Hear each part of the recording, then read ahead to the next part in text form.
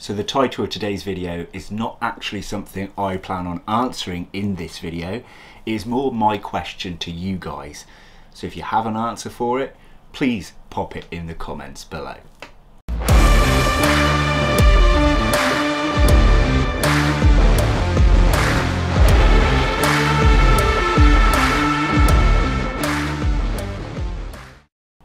Hello and welcome back to Bug Realms. On this channel we like to discuss all things creepy crawly. So if that's something that interests you, please consider subscribing to the channel.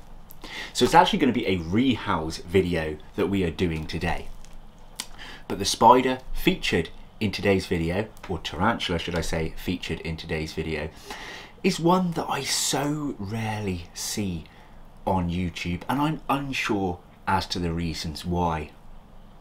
But I thought instead of just telling you what spider we're going to deal with today, I'll drop you hints throughout the video and you can see if you can guess. You can either comment below with your guesses or you can just comment at the end and say whether you are right or wrong with your guess. I'm just curious to see if this is a spider that you will recognise and you will think of. So first things first, this spider is going into my brand new spider shop arboreal enclosure. So there is your first clue, ladies and gentlemen. This is an arboreal tarantula. Now this enclosure is uh, 30 centimeters tall. I think it's 20 wide. I can't quite remember. Anyway, it's a suitable size enclosure for today's tarantula. Now while we get this bad boy set up, I'll drop you some hints and stuff. See if you can figure out what tea it is we're dealing with today. Okay, so first of all, I'll tell you why it is that I found this to be rare on YouTube. So basically, before rehousings, on the odd occasion, I look for a bit of inspiration, especially when I've been a little bit demotivated lately. And so, while looking for some inspiration for an enclosure design, I searched up this species on YouTube and found very little results. I just realised I'm literally just talking and you're seeing this sorry, that's what you have to put up with for just a moment. Split you back. So I found a handful of videos of people that do own this species, but they were only showing slings, which obviously is no help for enclosure inspiration. And although I do love watching sling videos because I think they're dead cute, it just doesn't show you like the full potential of the spider. It doesn't show you their, their adult or juvenile colorations it's just a sling, right? Or, or some of them had a, a grown on sling, I think. But again, this was just a handful of people. And then I came across Tom Moran's video. Now, Tom is the only one that I saw in my moment of searching that actually had a large enough specimen for me to properly look at. Um, so that was pretty cool. But aside from Tom, I found next to nothing. Now that's not to say that there is nobody else on YouTube with a specimen the same size as mine or Tom's, it's just saying that I never came across the videos of them. Maybe they were in feeding videos, or maybe just everybody has slings. I, I honestly don't know.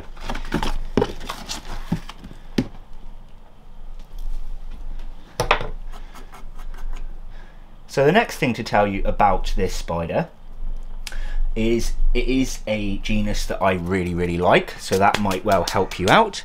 Um, and I cannot remember where I got it or how old it was when I got it but I've got a funny feeling that the animal I got I did purchase either as a sling or perhaps a small juvenile but I certainly did not get it at the size that it currently is. Now I've got to be careful with this bit of wood here because I'm I came up with the idea but I didn't realise that it wouldn't quite fit. I need to check that that door will close.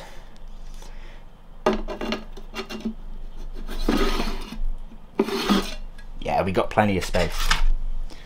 So what else can I tell you ladies and gentlemen? Well, as far as I'm aware or what I have seen, slings of this species still hold value, looking at about 20 pounds for a one to two centimeter. So not the most expensive, but definitely not the cheapest of slings for you to buy.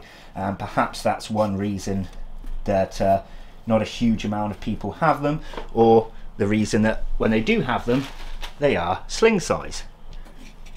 Now upon shopping, um, I've got to say I don't see them about that often and when I do it is really just one to two centimeter slings. So again that might well be another reason why but I'm also thinking to myself well I grew mine on surely a lot of these other people within this community have also grown theirs on so where's their specimens? Perhaps it's a difficult tea to raise but I know people that have raised plenty of others of the same genus so I don't think that's what the issue is. I'm going to pop my water dish in now. This is a very basic setup. As you know with me, I like to add uh, mossy bottoms to my enclosures as much as I can. I think it looks more naturalistic. So what else can I tell you about this spider?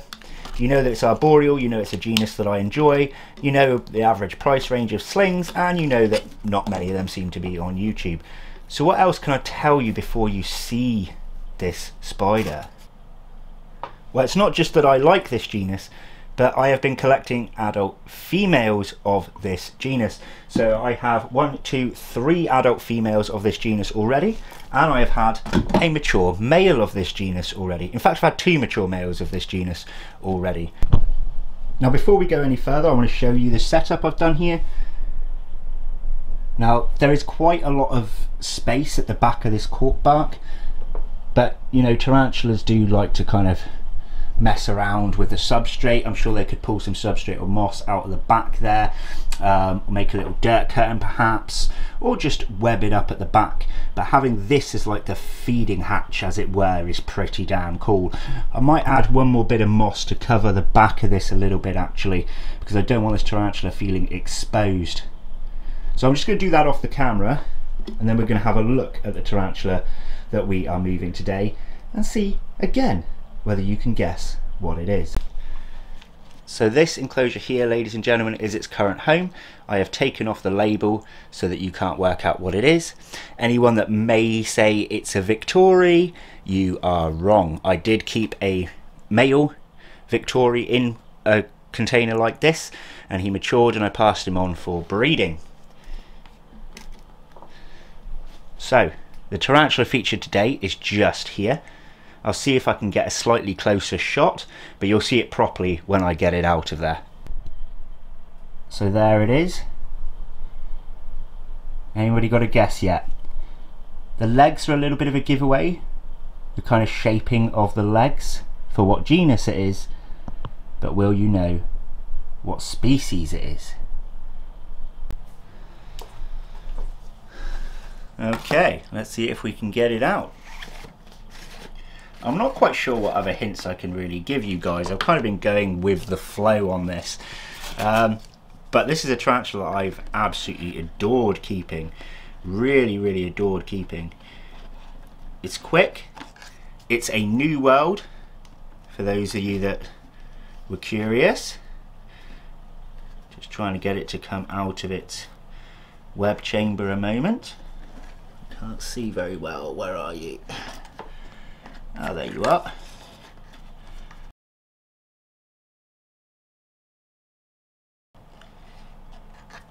And it's in the cup.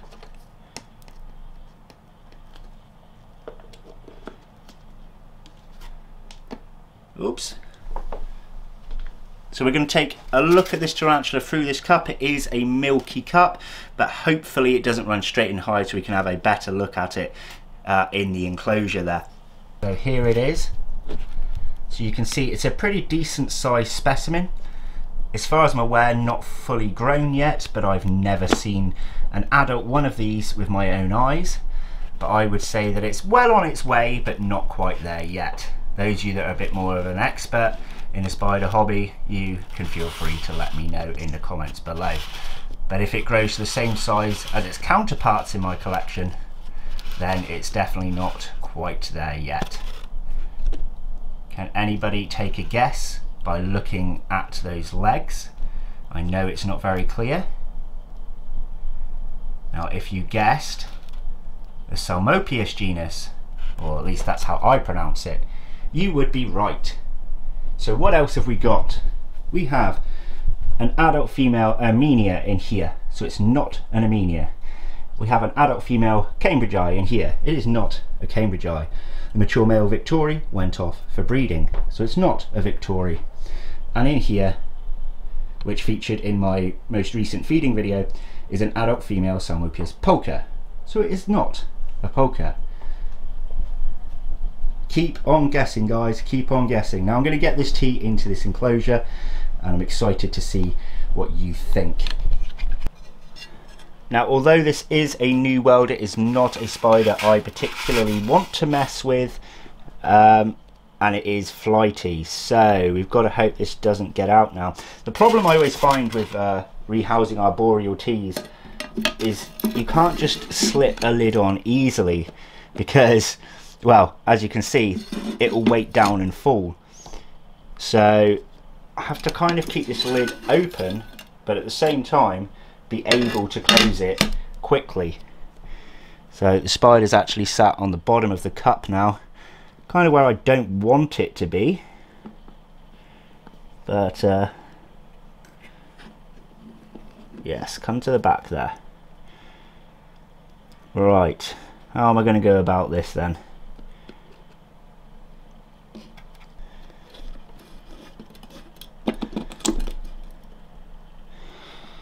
Okay, so I've just left the cup with the lid half down.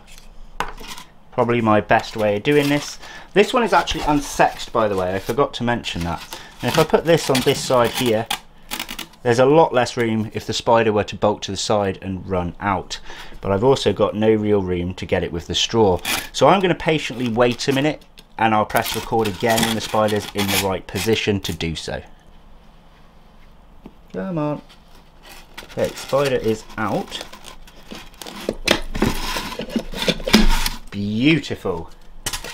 Oh, oh, the spider's out. Let's take a look. Okay, so this is through the top of the glass. Can anybody recognize this spider yet? So I think I've made you wait long enough. Let me just reposition the light and I'll tell you what it is. Look at those iridescent feet. What a beauty. So we know it's Psalmopoeus genus. Let's wait for it to turn and I'll tell you what it is. Can we not get a view of the top of you from the front here? Madam or mister? Hopefully madam. You're just going to sit there now, aren't you? It's not me making you wait, folks. It is the spider. Right, come on then, let's change position. Ah, there. Perfection. No! Focus! This is not going the way I'd hoped. There we go. For those of you that have been a part of the game and wanted to know, this is the Psalmopoeus ecclesiasticus. And what a beauty it is. So let me know in the comments below, do you own an ecclesiasticus? Is yours just a sling? Do you have a YouTube video of a big one I just missed? I want to know because I can't see why anybody would not want to own this tea. It's got those feathery legs typical of Psalmopoeus. It's got almost a faint tiger pattern on the abdomen and it goes down to these rich golden colours on the carapace and on the femurs there which I never noticed until I put the light on it. She or he is gorgeous. Absolutely Gorgeous. Right, excuse the shakiness, but we needed a poor photo. Look at that little foot. Focus with the little claws on there. Oh my god. Do you know what she actually reminds me of, guys? She almost reminds me of an arboreal version of a Phormictopus. I, uh, I have a few Phormictopus now, and some of them take on this golden carapace, or even slightly pinkish carapace in some cases. So what do you think guys? Do you think this spider suits this home well? I absolutely love it. I'm happy with the simplistic but effective design. I'm happy that I got to see this spider out and about because honestly a lot of my Psalmopoeus only really come out in the evenings and the rest of the time they're hidden in their cork bark hides. I did actually catch my Aminia out this morning which was nice and surprising and I've been putting this one off for ages absolutely ages because I just oh I don't know it was like almost like I just needed to wait for that right day that right moment to see this spider out of its old enclosure oh she was just on the moss then. And as soon as I pressed record she started climbing again. That is a shame. I don't think I'm going to be able to get you any other footage of her walking around on there today but I gave it my best shot. Now I'm not going to stress her out anymore. I think I'm just going to put her on the shelf. So this might be the last time you see this girl for a while now unless she features in feeding videos. But with that hatch at the front of the cork bark perhaps you'll get a really nice snatch and grab. You know but looking at her she's quite leggy. I'm hoping this isn't a boy because if this is a boy then it would definitely be a sort of sub-adult stage. Um, meaning it would hook out next molt. And I don't have a girl. And with the lack of people owning this species I don't know where I'd find one so fingers crossed with me everybody that this is a female I'm going to pop her on the shelf now and let's wrap this video up so there she is right there in fact let's put her away before I finish this off. Come on girlie, up on your new spot. Oh. There she is. She actually looks quite dinky now in comparison to when I had her in in this one here. Oh, well, thank you guys for tuning in. Thanks for coming along again to the new channel. Any shares of my channel would be fantastic. Any mentions on social media, on YouTube, anywhere you can to help us regrow will be amazing. Now, I think I will finish this video off by showing you my Phormictopus auratus, which is just freshly molted yesterday, so you can see what I mean about the golden carapace. But until next time, thanks for watching, take care, bye bye. So here's the bonus part of the video. This is my fresh Phormictopus auratus. You can see the golden carapace there. She's got more of a, a darker body with rich hairs. But you see what I mean about that gold. Now if we were to move over to this one, this is my Phormictopus species green gold carapace.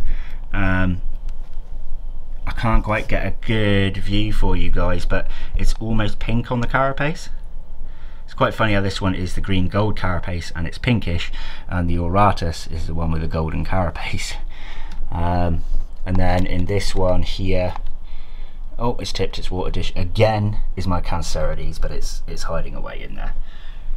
But yeah there's my Phormictopus let me see if I can pull this one out. There you go. Now you can see some of the pinkish tones. But you see how it's similar patterns? Even though these are a completely different genus.